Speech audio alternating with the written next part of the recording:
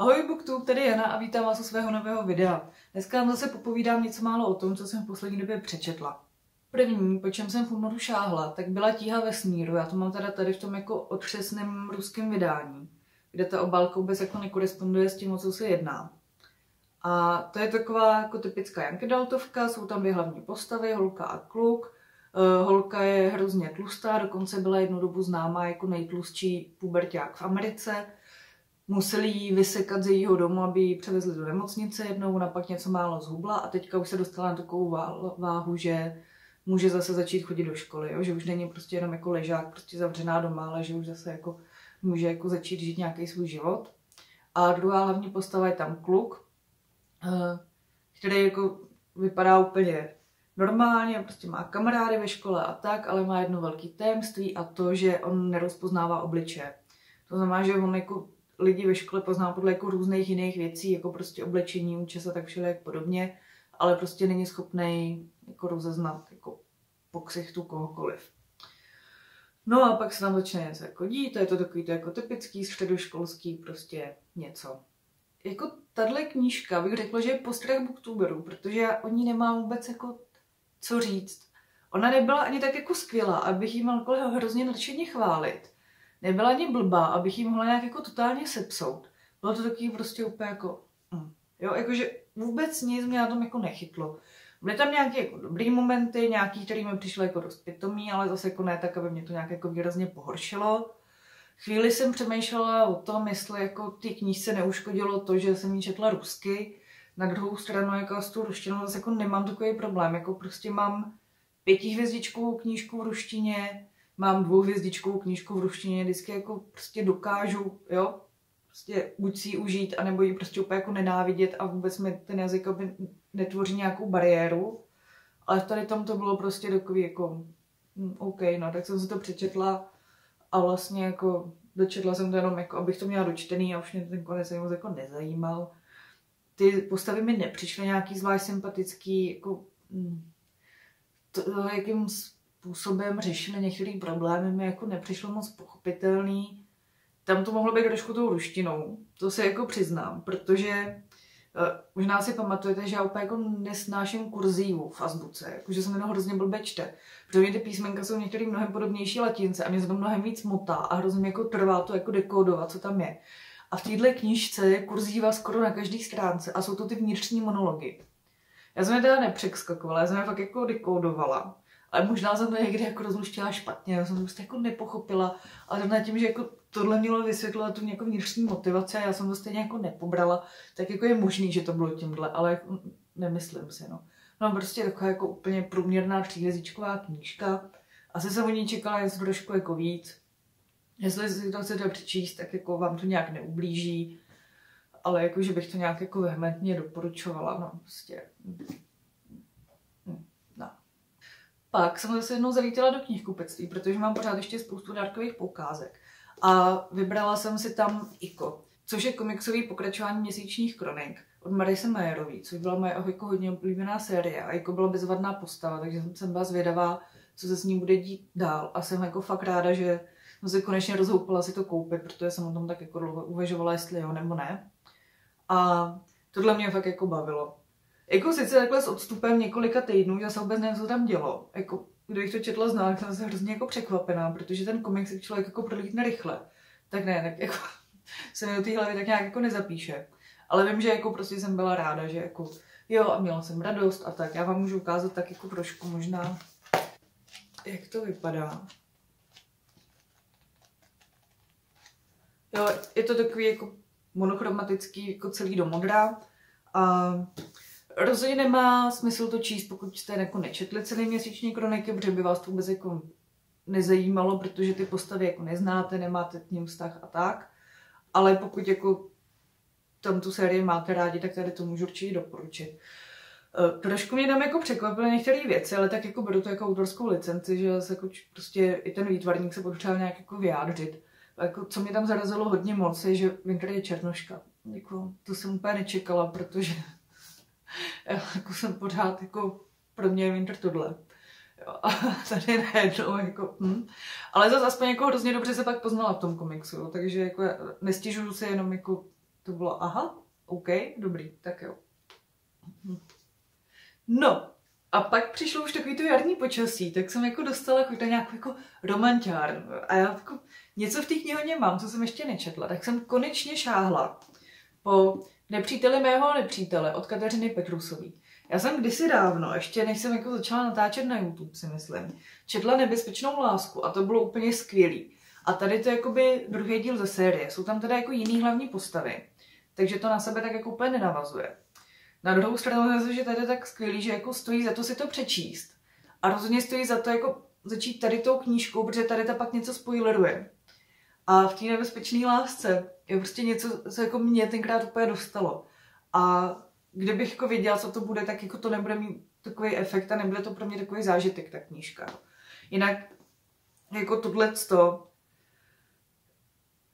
Kdyby to kdysi dávno hrozně nedoporučovala počmáraná čtenářka, tak mě to ani nenapadne. Jo. To je prostě, podle mě, tady to je úplně jako typický recept na průšvih. Jako česká autorka, ale odhrává se to v New Yorku.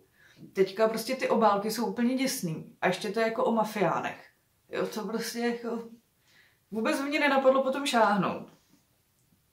Kdybych prostě kdysi dávno, a to už jako několik let, jo, co o tom jako Lenka mluvila ve svém videu, a rozhodně jsem ráda, že jsem tenkrát dala na její doporučení, protože tohle opět bylo jako super. Hlavní hrdinka je bývalá policistka a nějaký kriminální, který ji zná ještě jako z době její policejní kariéry. Jí unese dceru a začne ji vydírat a chce po ní, aby zavraždila nějakého mafiána.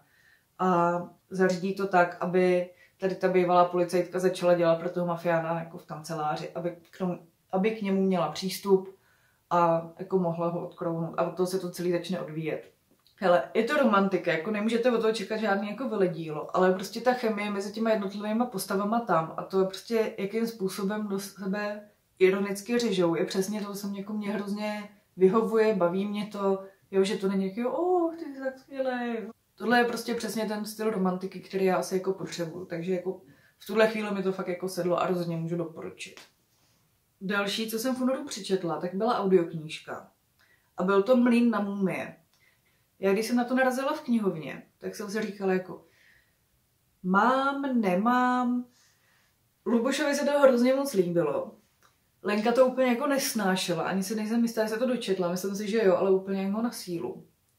Tak jsem byla tak jako zvědavá, na kterou stranu se přikloním já. A měla jsem pocit, že jako tohle jako bude další průšvih, protože jako vyhrálo to magnézii literu, celá ta anotace zněla jako hrozně intelektuálně, což jako já většinou moc jako nemusím, ale říká se tak jako audioknížka, to se jako dá, i když mě to nebude úplně bavit, tak přece jenom jako. Mohlo by to klapnout. A tohle byla úplně nejlepší knížka za únor. To bylo úplně peckovní, jako pět hvězdiček z pěti. Můžu rozhodně doporučit audioknižka byla ještě podle mě jako to posunula o level vejš. A bylo to prostě úplně jako úžasný, to jsem vůbec jako nečekala, že bych z toho mohla být takhle nadšená. Celý ten příběh se odehrává v Praze v druhé polovině 19. století. Celý se to odvíjí od toho, že komisař Durman vyšetřuje série vražd, které se v Praze dějou a který jako celkem jasně spolu mají nějakou spojitost. Nicméně ta detektivní zápletka tam není úplně to nejdůležitější na té knížce. Jako prostě nečte se to jako detektivka. Prostě jenom jako je, je to ten jako nosný příběh, ale děje se tam toho mnohem víc. Uh, co se mi na tom líbilo úplně nejvíc, je, že to bylo úplně jako neuvěřitelně vtipný. Jako já jsem se u toho několikrát smála na hlas. To mě se jako moc často nestává. A bylo to jako vtipný takovým úplně jako zvláštním způsobem. Jako, já musím souhlasit s tím, že jako autor je prostě jako geniálně si hraje s jazykem. Tam jsou takové jako slovní přesmyčky, které jako nejsou prvoplánový, ale úplně bezvadně fungují. A, a rozhodně jako tady tu knížku můžu jako doporučit. Je to prostě jako fajn. Jediný co, tak jako mě tam úplně neseděly takový ty jako paranormální prvky, které v tom jako byly, ale jako ne, nevadily mi, jo. Ale na druhou stranu, jako kdyby tam nebyly, tak se jako vůbec jako nic nestane. Akorát bych jako možná upozornila, že se tam hrozně moc baví o jídle, a hrozně moc se tam mluví o sexu. Rozhodně to není jako pro nějaké jako vyloženě jako konzervativní osoby. Jo, ale i tohle byl jakoby součást takových těch malých vtípků. Jakože prostě komisař Durman se tam jako hrozně dvoří nějaký slečně, jo, taková ta prostě jako nevinná květinka. A vždycky potom, co spolu jako stráví celé odpoledne, jak jako sedí na lavici v parku a povídají si, tak on ještě než dojde domů, tak se jako staví v bordelu, aby se Jo, jako tady to tam je jako docela popisný, ale jako ne úplně oplzlým způsobem, spíš takovým jako elegantně vtipným. Jako, no. jako přečtěte si to, jestli jako jste si mysleli, že to je vysoce intelektuální, tak ono to jako má nějakou myšlenku, ale prostě nečte se to jako taková ta kniha, kde si autor honí ego na tom, jak on je jako děsně intelektuál. Jo.